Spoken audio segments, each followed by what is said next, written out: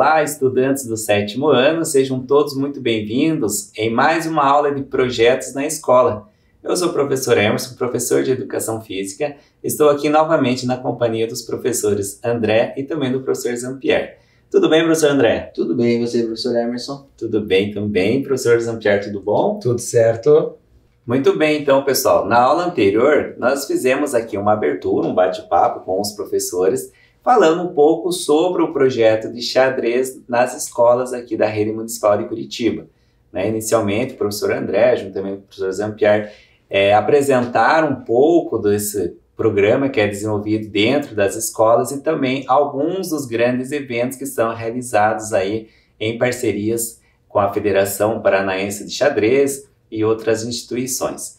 A partir de, de então, na, na na aula anterior já, o professor Zampieri aqui iniciou aqui um, alguma, uma proposta de ensinamento né, do, do jogo, especificamente de xadrez, já com uma metodologia. E hoje o professor Zampier vai dar continuidade, então, explicando sobre as peças do jogo de xadrez. E entre elas, professor Zampier, nós vamos falar hoje sobre... Sobre a dama. Sobre a dama, né? Então, na aula passada, né, professor André, nós falamos sobre o rei, e hoje, então, o professor Zampier vai aqui dar um aprofundamento técnico sobre a movimentação da dama. Isso aí, professor? Perfeito, isso mesmo, professor Emerson. É, então, eu queria começar relembrando o que nós falamos na última aula. Então, se vocês olharem ali na nossa tela, eu coloquei o, o último slide que nós conversamos na, na última aula, que eram as regras do rei. Então, a primeira regra é que o rei nunca pode ser capturado de maneira alguma. Eu até brinquei que o rei só sai do jogo de xadrez quando ele vai no saquinho para ir embora, mas enquanto durante o jogo ele não sai do tabuleiro. Então ele não pode ser capturado, não sai do tabuleiro. Ele não pode ficar em xeque quando ele termina o movimento dele. Então, até terminar o movimento dele, ele não pode ficar em xeque. Então, por exemplo, se eu dei xeque uh, no rei do professor André, o professor André é obrigado a tirar o rei dele de xeque. Uh, e também nós falamos sobre o movimento né, do rei, afinal, como ele, como ele se movimentava e como ele capturava no, no nosso tabuleiro. Falamos que o rei anda de uma em uma casa, para todas as direções, mas ele não pode, então, ficar em xeque, ele não pode ficar ameaçado. Paramos nisso. E antes nós tínhamos falado sobre o tabuleiro, né? Que é o nosso campo de guerra, aí, que é a parte mais importante, né? Eu preciso saber onde eu vou jogar, né? Quando eu vou jogar um outro esporte, por exemplo, futebol, eu preciso conhecer o campo, né? Senão não sei nem onde fica o gol, não é verdade? E no tabuleiro de xadrez, então eu preciso conhecer o tabuleiro de xadrez. Nós até fizemos uma brincadeira de cor de casas, né? Fizemos esse, esse joguinho e vocês construíram um tabuleiro também, com a proposta para que vocês pudessem construir esse tabuleiro. Antes de começarmos e passarmos para a nossa próxima peça, eu coloquei algumas perguntas aqui na tela. Vamos ver se, vamos ver se vocês estão afiados, professores André e professor Emerson. Uh, então a primeira pergunta é: o tabuleiro de xadrez tem uma forma que ela é geométrica. Que forma é essa? Ela é um retângulo ou ela é um quadrado? Quem é que se arrisca a responder essa? Essa eu respondo. ah, eu já ia, já ia falar que eu respondia, ah. mas o professor Emerson foi, foi mais foi rápido. mais rápido. Né? Vou de alternativa B quadrado. Da alternativa B quadrado. E aí, você de casa também concorda com essa? Alternativa B quadrado. Professor André, concorda? Concordo. Vamos ver. Opa! Resposta certa. Muito aí, bem. Muito bem. Está, está de parabéns, está, professor Está afiado, professor Emerson. Próxima pergunta na tela quantas casas tem o tabuleiro de xadrez? E aí fica um pouco mais difícil. Aumentei as alternativas agora. Letra A, 32. Letra B, 68. Letra C, 64. Ou letra D, 80? Sua vez, professor André. Olha, agora que ficou mais difícil, passa para mim, né? Mas claro, tudo bem, claro. vamos lá. Então, é, letra C, 64 casas. Letra C, 64 casas. Será que o professor André acertou? Concorda, professor Everson? Concordo, concordo com, com ele. Muito bem. Ponto. Vocês estão afiadíssimos, estão perfeitos. Estamos afiadíssimos. Perfeitos. Prestaram de... atenção na minha última aula. A gente acompanhou de perto a aula passada. Muito bem. A próxima pergunta está na tela. O rei pode ser capturado? Essa é fácil. Pergunta de sim ou não. O rei pode ser capturado? E aí, professor Emerson? Não. Não. Não, não pode. Não? Professor André, confirma? Não. Não Vamos pode ver? ser capturado. Certa resposta, perfeito. O rei não pode ser capturado. Lembra que ele leva, toma cheque, e aí ele tem que fugir desse cheque. Alguma das alternativas, que eu vou relembrar com vocês, mas ele tem que fugir de cheque, não pode ficar em cheque. Perfeito. Próxima pergunta. o rei pode ficar em xeque ao final do seu movimento? Deixa eu explicar bem essa pergunta. Então eu estou jogando e aí eu dei cheque no rei do meu amigo. Quando é a vez dele, ele tem que fazer um movimento. Ele pode deixar o rei dele em xeque e fazer outra coisa? Sim ou não? Hum, boa pergunta, hein? Eu acredito que é não. Não? Não, eu também digo que não. Ele não pode, ele não pode fazer outro movimento a não ser tirar o rei dele de, de, do cheque, né? Perfeito, professores. Resposta certa.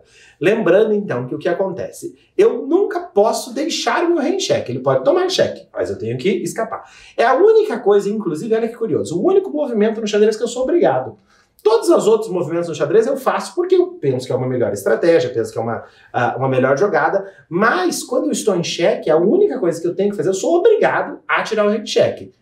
Professor Zampier, é importante aqui é, uma dúvida que me surgiu, né? Claro. É, quando o meu rei está em xeque, eu preciso obrigatoriamente mexer o meu rei ou posso mexer outra peça para tirar o meu rei do cheque? Calma lá, professor. Vamos chegar nela. Ah, que Vamos bom, chegar. professor. Boa pergunta. Vamos Muito chegar bem, nela. Vamos chegar nela. tava ficando aqui, ó, ansioso. Mas é uma saber. boa pergunta, é uma boa pergunta. Vamos continuar então. Ah, a próxima pergunta é: o rei pode chegar perto de outro rei?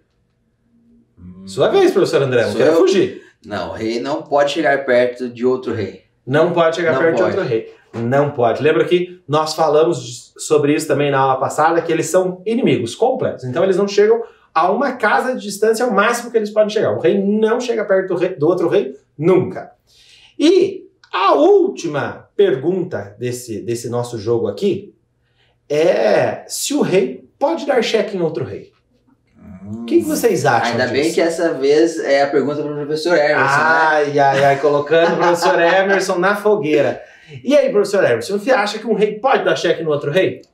Pela explicação da pergunta anterior, se ele não pode chegar próximo, então, teoricamente, também não pode dar um cheque. Não pode dar cheque. Perfeito, certa resposta. Então, o rei não pode dar cheque no outro. Inclusive, responde a nossa última pergunta, né, professor Emerson? Da Exatamente. última aula, paramos nessa pergunta, não foi? Exato. Se um rei podia dar cheque no outro rei. E a resposta é não, porque eles não chegam nem perto. Lembrando que o movimento do rei é uma casa de cada vez. Então o que acontece? Se o rei não chega perto do outro, ele nunca vai conseguir capturar o outro, né? ele nunca vai chegar perto do outro, nem vai dar cheque. Capturar não pode mesmo? Então nem dá cheque.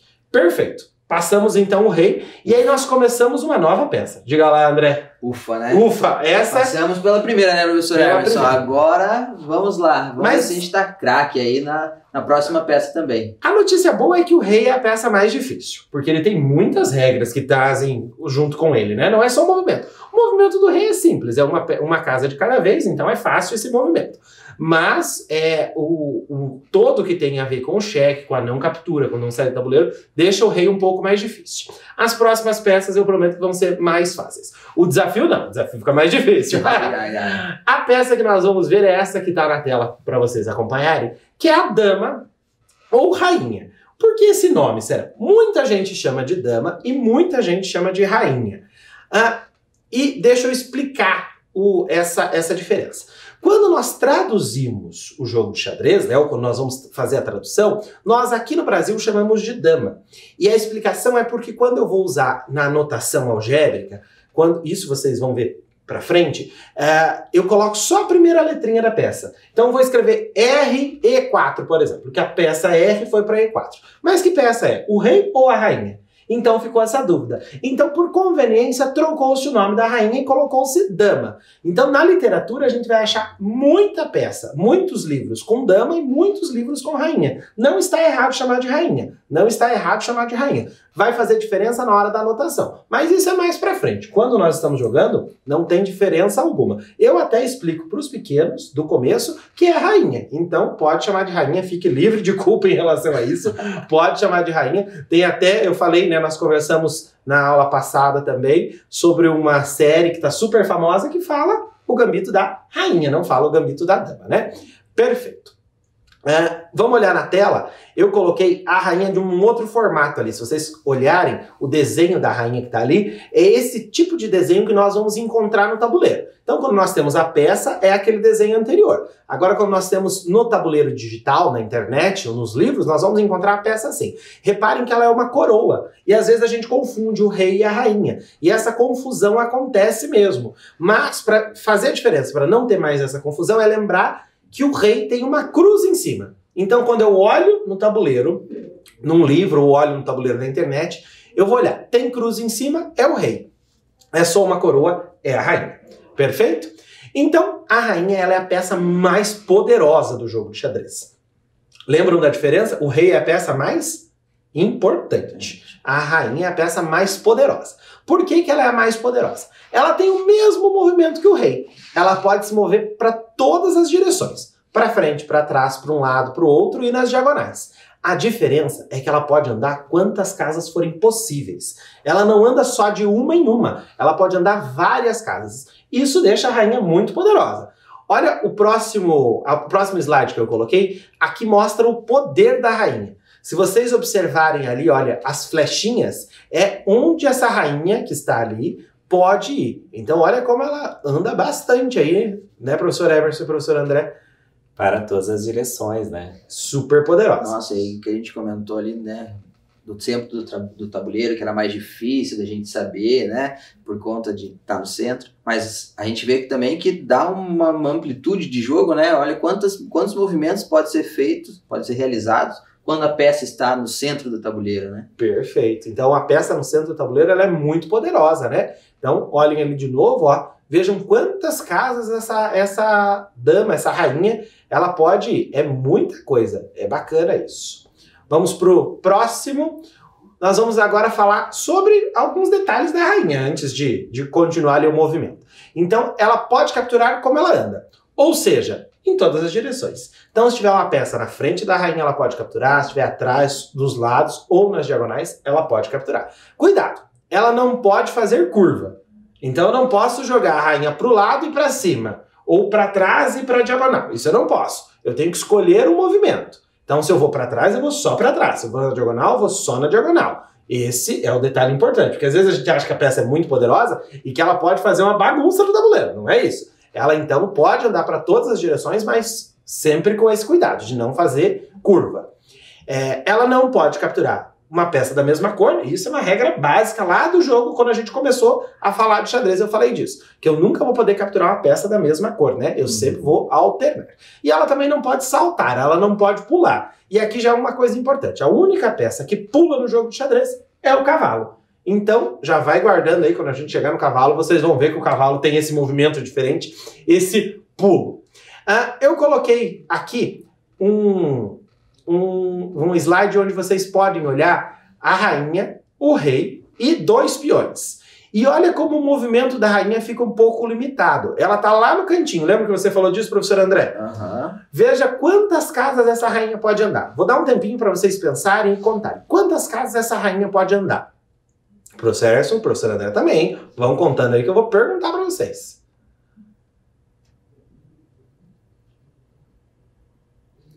Já deu tempo de contar, né? E aí, professor Emerson, quantas casas essa rainha pode andar? Se ela for andar na diagonal, duas casas. Duas casas, ela tem ali duas casas para ir, mas ela não pode pegar o peão, né? Exato. Então, Isso, uma casinha. Uma casa. Desculpa, é, eu, eu, eu, pensei na a expectativa dela fazer a captura do perfeito, peão, né? Mas perfeito. já que é da mesma cor ali, então Não ela dá. só pode andar apenas uma casa. Apenas uma casa, perfeito. E mais alguma direção, professor André? Ela pode andar ali na, na... Pro lado? Pro lado, mais três casas, né? Perfeito, porque ela também não pode ela não capturar. Pode capturar por ser. Por ser a peça da mesma cor, né? da mesma cor. Então, Perfeito. totalizando quatro casas. Né? Quatro né? casas. Então, olha a diferença de uma rainha que tá no canto para uma rainha que tá no centro. Ah, professor, mas você colocou mais peças. Sim, mas essa diferença vai acontecer do mesmo jeito. Porque lembra que nós falamos do tabuleiro que ele é uma montanha. Então lá em cima ela vai conseguir olhar todo o tabuleiro que está embaixo. Eu coloquei também um truque. Caso a gente esqueça, Opa. como a rainha se mexe, eu posso pensar num asterisco. Se você olhar ali o asterisco, ó, faltou só a fileira, né? Então ela anda também de lado, que faltou ali no nosso asterisco, mas o truque é esse que você pode usar para lembrar. Perfeito? Dúvidas sobre o movimento da rainha, professores? Acho que até o momento não. Até o momento não? O problema é quando começarem as perguntas. Ah, Aí começam a surgir perguntas. as dúvidas, né? Então eu vou começar já com o desafio. Ai, o desafio ai, ai. de hoje, eu confesso que ele não é fácil. Não é fácil e eu não vou dar resposta nessa aula. Vou deixar vocês pensando, você aí de casa vai ficar pensando, os professores aqui vão ver se vão conseguir pensar também. O desafio que eu vou colocar tá na tela é o desafio das oito damas ou o desafio das oito rainhas. O que é esse desafio? Você tem que colocar oito damas no tabuleiro de maneira que uma dama não ameace a outra. Como assim? Eu vou tentar distribuir as damas no tabuleiro e uma não pode ameaçar a outra.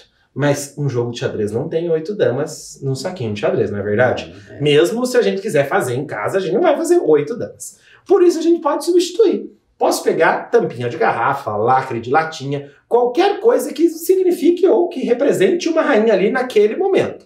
Se você já tem um jogo de xadrez na sua casa, pode pegar oito peões. Não interessa a cor que eles sejam, o importante é você imaginar que eles são rainhas. E aí eu vou distribuir essas rainhas no tabuleiro. Vou dar um exemplo, olha na tela ali. Eu coloquei três rainhas para começar, para ajudar vocês ali. Não precisa começar desse jeito. Vocês podem começar de várias maneiras. Eu coloquei três rainhas ali para dar o exemplo. Olha, nenhuma rainha tá ameaçada. Se vocês olharem a primeira rainha lá do cantinho esquerdo que tá na casinha escura, ela não tá ameaçando nenhuma das outras duas rainhas, nem a rainha que tá no meio, nem a dama que tá mais embaixo, elas não estão se ameaçando. Coloquei três. Aí o objetivo é colocar oito. E esse desafio eu vou deixar um tempo para vocês tentarem fazer em casa, porque ele é bem difícil mesmo. Mas eu acho que, que vocês conseguem. É um desafio e tanto, né, professor? Um desafio e tanto. Um desafio e tanto. Olhando o tabuleiro ali, professor, até a quinta rainha eu consigo Oh! rapidamente. Vai lá, o professor Emerson já da tá aqui, ó, sexta, calculando, sétima, até né? chegar a oitava, aí vai ficando bem mais difícil. Vou dar uma dica. Boa. Se você colocou sete rainhas e a oitava não encaixa, desmanche e começa de novo. porque é a melhor maneira. Porque se você coloca sete e aí você tenta encaixar a oitava, não encaixa, você começa a mexer aqui, mexer aqui, mexer aqui, você perde todo o seu plano. Então, desmancha e começa de novo. Esse é o desafio. Então, fica o desafio aí para vocês colocarem oito rainhas nas 64 casas, sem que uma rainha encontre a outra.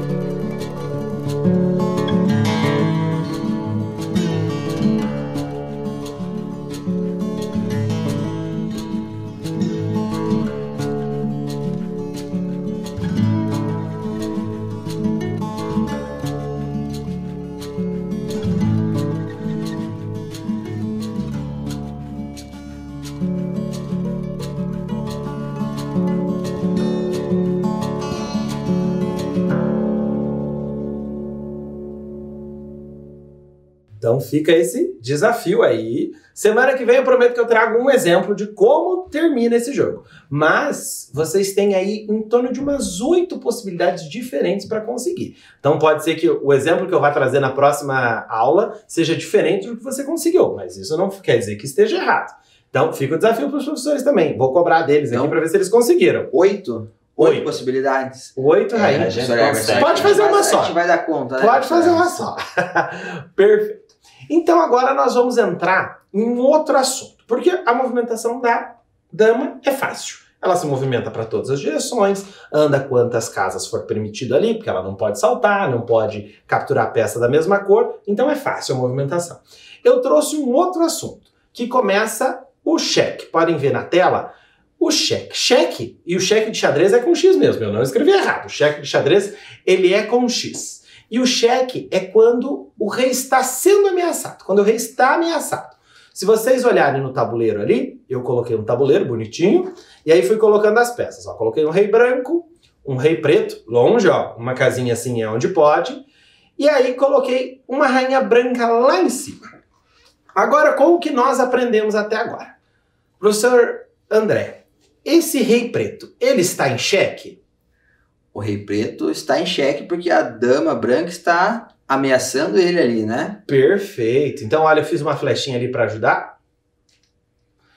E mostra ó, o movimento, então, da dama branca. Ela está ameaçando o rei preto. Ela está dando cheque. Ah, o que acontece? Só olhando esse diagrama, eu consigo saber de quem é a vez de jogar. Eu consigo saber de quem é a vez de jogar só olhando esse, esse tabuleiro. E sabe por que, que eu consigo isso? Porque lembra da regra que eu falei que um rei nunca pode terminar o seu movimento em xeque? Então quer dizer que o lance é das peças pretas agora. Elas têm que tirar o rei de xeque. É obrigação delas, né? Tirar esse rei de xeque.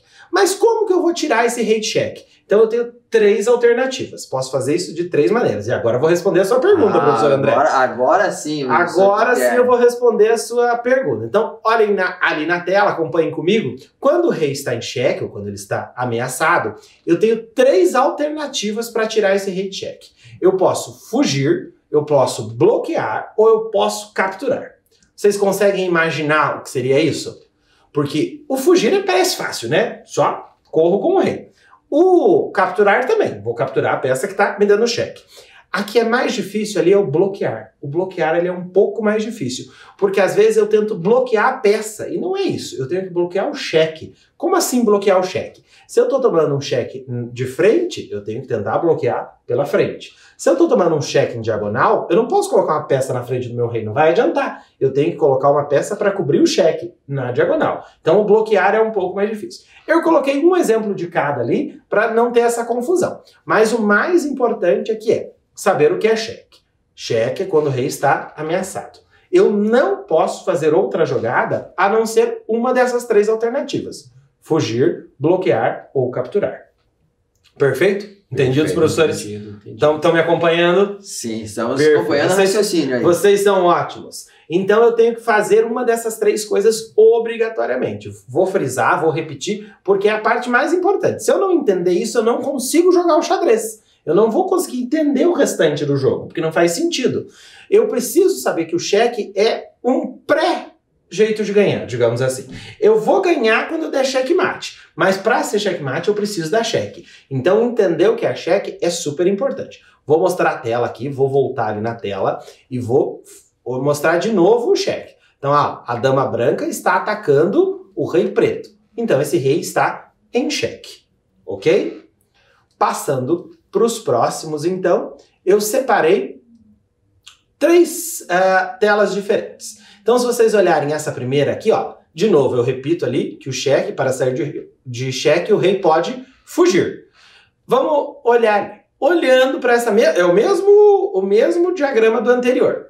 O que, que esse rei pode fazer? Vou dar um tempinho para vocês pensarem. Quantas casas esse rei tem para fugir? Vamos ver se vocês vão lembrar de todas as regras. Quantas casas esse rei pode fugir? Vão contando aí.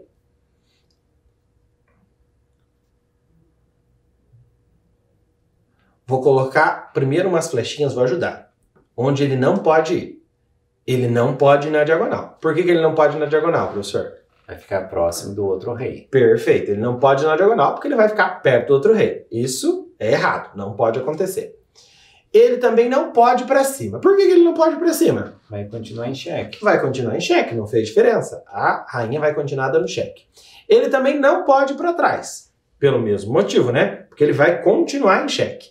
Então, nenhuma dessas três casas ele pode ir. Sobraram outras Quatro. opções. quatro opções para ir. Então ele pode ir para a esquerda, porque ele não vai ficar nem ameaçado pela rainha, nem perto do rei.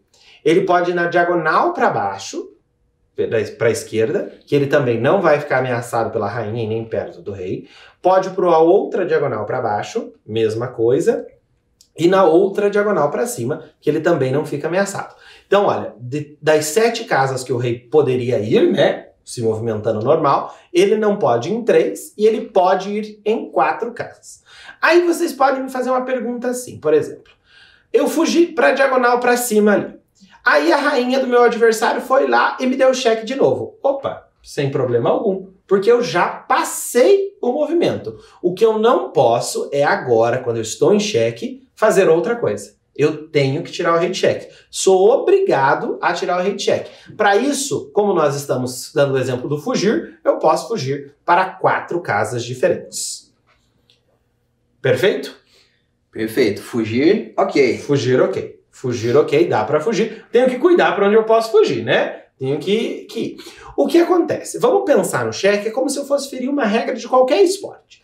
Ah, por exemplo, eu estou jogando futebol e eu não sou goleiro. Eu posso pegar a bola na mão? Não posso. Quando eu pego a bola na mão, o jogo para, não é verdade? A mesma coisa acontece no xadrez. Quando eu descumpro alguma regra, o jogo tem que parar e voltar a posição anterior. Mesma coisa, de novo, vou usar o futebol que é mais fácil até para a gente entender. Peguei a bola na mão, o jogo não vai continuar. O juiz vai parar, vai colocar a bola ali no chão e aí vamos começar. No xadrez a mesma coisa. Dei cheque em você. Professor Emerson não tirou o rei cheque, fez outra coisa? Eu paro o jogo, volto para a posição e o professor tem que tirar o rei cheque. Ok? Só para frisar isso. Sempre eu tenho que tirar o rei cheque. Eu não posso ah, continuar jogando errado.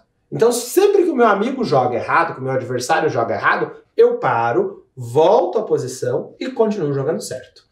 Como eu disse lá na primeira aula, o xadrez é um jogo de cavaleiros. Sim. Então, eu não preciso estar com um árbitro apitando, né? Ou arbitrando, cuidando daquele meu jogo. Se eu estou jogando em casa, por exemplo, com alguém da minha família, eu não preciso ligar para um árbitro, né, para ele ver o que está acontecendo.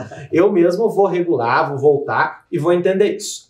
Feito? Continuamos então. Foi o fugir. Depois do fugir tem o bloquear. Coloquei de novo o mesmo exemplo ali para nós vermos as possibilidades que esse exemplo nos dá. Então, eu tô de novo em xeque. A rainha branca tá de novo ameaçando meu rei. Só que agora eu não quero fugir, eu quero bloquear. O que que eu vou bloquear? Vou bloquear a peça ou vou bloquear o cheque? Bloquear o cheque. Bloquear o cheque, perfeito. E esse exemplo eu deixei fácil, né? Só tem um jeito de bloquear o cheque. Como é que eu vou bloquear esse cheque? Como você vai bloquear, você vai ter que mexer a dama, né? Vou ter E como que você tem que bloquear o cheque, você vai mexer a dama na diagonal para cima e para a esquerda, né? Esquerda. Perfeito. Vou pôr uma flechinha ali para ajudar você, professor André. Ah, muito obrigado. Ah, perfeito. Olha que, que interessante. O professor André até comentou: se eu vou bloquear, eu não posso bloquear com o rei. Eu vou ter que bloquear com outra peça. Nesse caso, eu só tenho a rainha. Se eu tivesse outras peças, e nós vamos compondo, nós vamos colocando peças aos poucos. Ah, se eu tivesse outra peça, eu podia colocar outra peça no- no- na frente, né? Na frente do cheque. Lembrando, sempre bloqueia o cheque. Esse exemplo é fácil. Deu para bloquear ali, tranquilo, né? Perfeito. Depois do bloquear, nós temos o capturar. Opa, minhas peças apareceram ali. Aí, agora apareceu o tabuleiro. Eu tenho capturar. Olha que interessante. Esse exemplo é parecido com o que nós estávamos trabalhando. Os reis estão no mesmo lugar ali, mas a rainha branca está em outra casa. A rainha branca está dando cheque no rei preto. Concorda comigo? Sim. Sim, tá dando cheque, né? Ela tá ameaçando ali o rei preto na diagonal. Esse rei preto pode capturar a rainha branca? O que, que vocês acham? Pode. Sim. Sim. Por que, que ele pode capturar? Porque não, se ele capturar a dama branca, ele além de sair do cheque, ele não está sendo ameaçado por nenhuma outra peça, né? Perfeito, isso mesmo. Então, o rei, lembra que tá lá nas regrinhas do rei que a gente retomou hoje, que o rei ele pode capturar qualquer peça, menos o outro rei, porque eles não chegam perto, qualquer peça, desde que ele não fique em xeque. Aqui nesse exemplo foi um prêmio, porque além de capturar uma peça, ele ainda saiu de xeque. Então, sempre que eu tiver essa possibilidade, perfeito, eu capturo e saí de xeque. Uh, mas para as próximas aulas eu vou trazer outros exemplos para vocês, quando ele não vai poder capturar, que ele está sendo protegido, mas vamos com calma, que aí nós conseguimos alcançar tudo que nós precisamos. Uh, o próximo exemplo que eu vou colocar na tela ali para vocês é uma diferença. Então vamos só recapitular até agora. Nós aprendemos do cheque.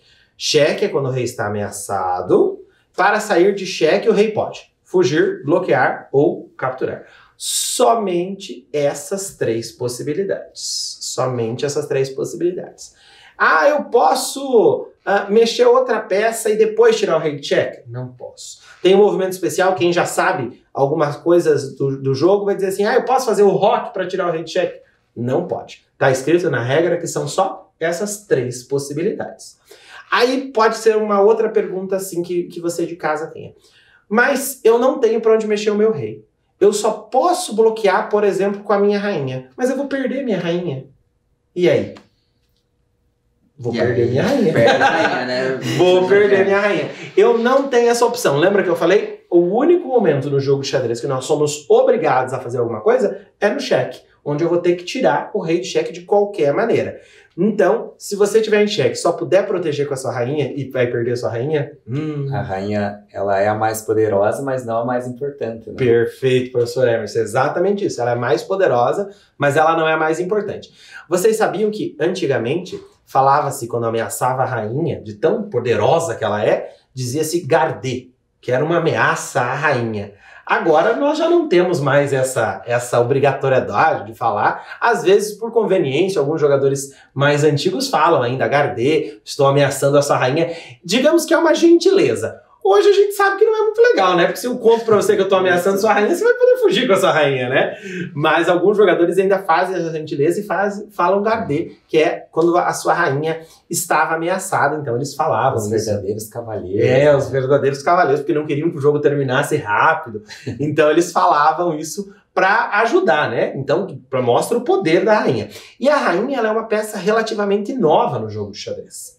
Porque antes ela não existia, não existia rainha. Eu, quando nós falamos lá no começo, quando eu vou contar uma história de xadrez, o primeiro jogo que nós tivemos foi o Chaturanga, antes de virar xadrez. E a rainha não existia. O xadrez, ele acompanha a história da humanidade e mostra o poder. Hoje as mulheres são muito importantes na nossa sociedade. Por isso que a rainha está no jogo de xadrez. Ela mostra todo o poder que a mulher tem na sociedade e é representada no, no jogo de xadrez, como a peça mais poderosa aí do, do jogo de xadrez. Pois bem, tirando essa curiosidade, falamos de novo do cheque, lembramos ali. E agora eu tenho uma outra palavra nova: checkmate. O que seria isso? O que seria o checkmate? É um adendo ali, né? Eu tenho o cheque, mas agora eu tenho uma evolução dele, checkmate. Checkmate é o único jeito de eu conseguir vencer uma partida de xadrez aqui, em modos normais. Depois eu vou explicar que existem outras maneiras. Uh, quando eu estou num torneio, quando eu estou em um campeonato. Mas quando eu estou jogando uma partida amistosa, por exemplo, o único jeito de eu vencer uma, um, um jogo de xadrez é dando checkmate. Então, se eu pegasse um tabuleiro, nós fôssemos começar a jogar aqui, só vencia quem desse checkmate. Isso é super importante, porque às vezes nós estamos jogando uh, e aí para o jogo por algum motivo, porque alguém diz assim: ah, então não dá tempo da gente terminar, eu ganhei porque eu capturei mais peças. Isso não existe no jogo de xadrez. No jogo de xadrez só existe checkmate. Então, para vencer, precisa dar o checkmate. Nas próximas aulas eu vou falar sobre o relógio de xadrez, vou falar sobre algumas regrinhas de torneio, e aí vocês vão ver que tem uma outras maneiras. Mas a princípio, só dando checkmate. E o que seria esse checkmate? O checkmate é uma evolução do cheque. O checkmate é quando o rei está ameaçado, mas ele não tem saída. Então o rei está em xeque, mas ele não tem saída. Eu não consigo nem fugir, nem bloquear e nem capturar. Aí o meu rei está em xeque-mate. É, vamos lembrar que é sempre uma vez de cada no jogo de xadrez, não é verdade? Sempre uma vez de cada. O jogo sempre acaba quando um de nós não pode mais mexer. E o checkmate reflete exatamente isso. O que acontece? Eu estou ameaçando e você não pode se movimentar. Então isso acaba o jogo. Então isso é checkmate. Vou dar um exemplo. Olhem no, tela, no telão, na tela, né? Uh, o checkmate ali que eu coloquei das brancas dando checkmate nas pretas. Quero que vocês observem primeiro, aí eu já comento sobre ele. Primeira coisa que eu tenho que observar é: será que o rei está em xeque? Vou fazer uma pergunta difícil. Difícil. Professor Emerson, o rei branco está em xeque? Rei branco não. Não tem ninguém ameaçando ele, né? Não. Nem poderia entrar em xeque, não é verdade, professor Emerson? Porque só tem as pretas só tem o rei, então não poderia dar a xeque. Professor André, o rei preto está em xeque? O rei preto está em xeque. O rei preto está em xeque. Quem está dando xeque nesse rei? A dama branca. A dama branca. A dama branca está dando xeque nesse rei. Ela está ameaçando. Lembra que a, a dama anda em qualquer direção. E será que esse rei consegue escapar? Ele consegue fugir? Não, Vamos pensar não. aí, se esse rei consegue fugir. Se ele for para A7, ele está infringindo a regra e está ficando próximo do outro rei. Não Então, pode. ele não pode. Se ele andar na diagonal, ele continua infringindo a regra, porque ele só anda uma casa por vez e ele vai continuar estando próximo do rei branco. E se ele andar na, na, B8, na B8, ele, está, ele continua em xeque pela dama, né? continua em xeque pela dama. E se eu tivesse outra peça preta, será que seria checkmate do mesmo jeito?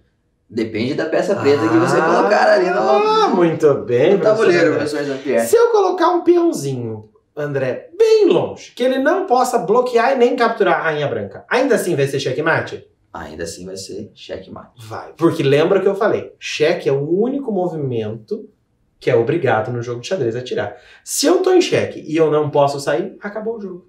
Não interessa se eu tenho só uma peça ou se eu ainda tenho todas as minhas peças. Claro, com todas as minhas peças é mais difícil de eu, tomar o checkmate.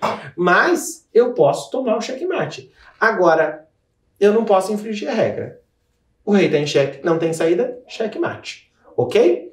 Eu coloquei ali, ó, algumas flechinhas, ó, para ajudar o o professor André falou. Eu queria só deixar ele falar primeiro para depois eu pôr as flechinhas. Ah, eu coloquei então as flechinhas ali, ó, que mostra que o rei não pode ir para nenhuma das casas, né? Coloquei as flechinhas vermelhas ali para demonstrar que o rei continua ameaçado. Nesse caso, o jogo acabou e venceram as peças brancas. Ah, quem que fez o movimento anterior a esse checkmate? Alguém de vocês se arrisca a me dizer? Se foram as brancas que jogaram, foram as pretas? Foram as brancas, né? Por que que foram as brancas, professor André? Foram as brancas porque pela, pela regra só pode é, partir para a próxima jogada quando o rei não está em xeque. Perfeito. Então não tinha como as peças pretas terem jogado, porque elas não saíram de xeque. Elas continuaram em xeque, isso não existe. Então elas não podiam ter jogado. Então agora, professor Emerson, é a vez das pretas. A vez das pretas. Mas elas não podem jogar. Acabou o jogo. Cheque. Não tem Checkmate, não E tem aí- saída. Exatamente. E aí vale a regra do rei. Olha por que, que eu não capturo o rei de xadrez. Porque a vez é das brancas. As brancas podem jogar duas vezes seguidas? Não, ninguém pode jogar. Então, quando eu tomo checkmate, eu vou ficar parado, porque eu não tenho como continuar o jogo de xadrez. Vou dar mais um exemplo de checkmate. Opa. Aqui. Olhem ali de novo. Agora eu dei o checkmate com as pretas. Tá o rei preto cuidando da rainha branca. Como que ele tá cuidando da rainha branca? O rei preto ele não pode capturar a rainha preta, não é verdade? O rei branco, desculpa, não pode capturar a rainha preta, porque senão ele vai infringir a regra que um rei não chega perto de outro. Ele vai infringir essa regra. Pois bem, então as brancas estão em xeque. Elas não podem capturar a rainha, elas não podem bloquear, porque a peça está grudada nela, não tem como bloquear. E vamos tentar fugir. Pro lado elas não podem, porque a rainha não deixa. Na diagonal elas também não podem, porque nem a rainha deixa e nem um rei chega perto do outro. Fácil esse, hein? Aqui o rei branco está em checkmate. Opa, aqui o rei branco está em checkmate, ok? Esse checkmate é muito famoso. Esse checkmate é muito famoso. Ele tem nome? Ele tem até o nome. Ele é o checkmate mais romântico do xadrez. Uau! É, ele é o checkmate do beijo da morte. Olha que romântico isso. Nossa, muito romântico. Muito romântico. Beijo E- da morte. Beijo da morte. E esse checkmate será o primeiro checkmate que nós vamos aprender nas próximas aulas. Nas próximas aulas, então, o desafio vai ser como eu vou conseguir dar esse checkmate. Que ele não é fácil. Mas se nós seguirmos as regrinhas que nós vamos passar aqui, que vocês vão me ajudar, e já venham preparados, que vocês vão pôr a mão na massa. Vamos estudar bastante, né, Vão- professor? Vão pôr a mão na massa, vão pôr a mão no tabuleiro aqui, porque vocês vão precisar movimentar essas peças e eu vou ensinar a como dar esse checkmate. Hoje vai ficar só na tela é, essa imagem, para que vocês possam imaginar como é que esse rei chegou lá. Porque esse rei, ele pode ser bonzinho, dizer, ah, eu vou indo pro cantinho. Ou ele pode ser um rei mais difícil, dizer, epa, eu não vou pro canto não. Como é que nós vamos conseguir dar esse checkmate? Mas esse é assunto para a próxima aula, não vamos, não vamos nos antecipar. Por último, eu fiz um jogo. Mais um jogo. Eu adoro jogos, vocês viram que eu adoro jogos. E eu faço jogos e não conto pro professor André e pro professor Hermes. Então eles têm que, na hora mesmo, descobrir. Não vai ter jeito. Ah, o meu jogo é assim, ó. Se é cheque ou se é checkmate. Então eu coloquei o primeiro ali, vou deixar um tempinho para vocês pensarem, o pessoal de casa pensar, os professores aqui pensarem. E eles vão dizer se é cheque ou se é checkmate. Fui bonzinho, coloquei só três peças. Quem quer começar? Professor Hermes ou professor André? E aí, professor Hermes? Cheque. Cheque. Professor André Eu acho que é só cheque também. acha que é só cheque. Por que, que é só cheque? Porque eu tô vendo ali possibilidades do, do rei branco fugir, né? Exatamente, é só cheque porque o rei branco ele pode fugir.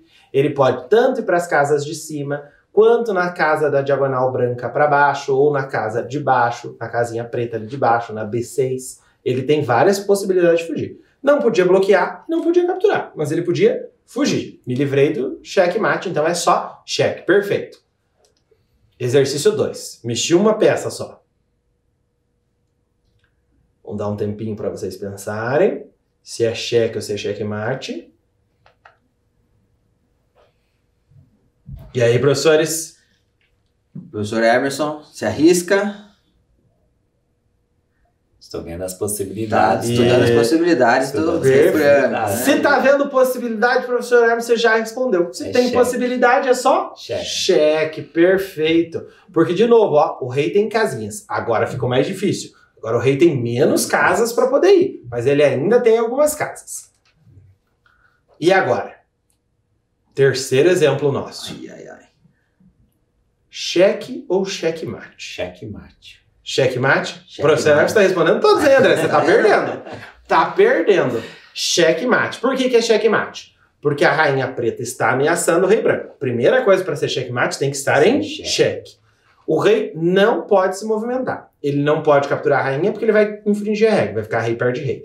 Não pode ir na diagonal branca porque vai ficar perto do outro rei. Não pode ir na outra diagonal branca porque vai ficar perto do outro rei. Nem para cima nem para baixo porque a rainha dá cheque. Então, cheque mate. Olha a diferença do anterior para esse de agora. Repararam na posição dos reis? Para tomar checkmate, eu preciso estar no cantinho. Eu preciso estar no fim da linha do tabuleiro. Porque senão eu consigo fugir em diagonal. Olha o exemplo anterior. Eu Uhum. sempre tenho a diagonal. Diagonal. Quando eu tô no canto, eu não tenho a diagonal. E isso vai nos ajudar na próxima aula. Boa para dica a aí, gente poder começar. E o último de. O penúltimo. Vou ter dois assim que vai dar tempo da gente terminar. Cheque ou checkmate? Checkmate. Checkmate. Professor André? Checkmate. Perfeito. De novo, ó, a rainha ameaça lá em cima e o rei branco não pode para nenhuma casas do lado porque o rei preto ajuda. É um trabalho em equipe. Sozinha a peça não consegue dar checkmate. Ela vai precisar de um amigo.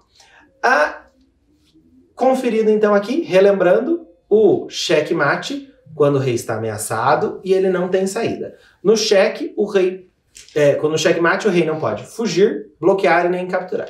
E a última coisa para encerrar a nossa aula de hoje, esse esse aqui, ó. O rei branco tá em xeque? Tem alguém ameaçando o rei branco? Não tem. Não. Não tem. Mas o rei branco pode se movimentar? Também não. Também não. Senão ele vai ficar em Em cheque. xeque, ameaçado. O que será que é isso? O que será que é isso? Resposta? Só na próxima aula.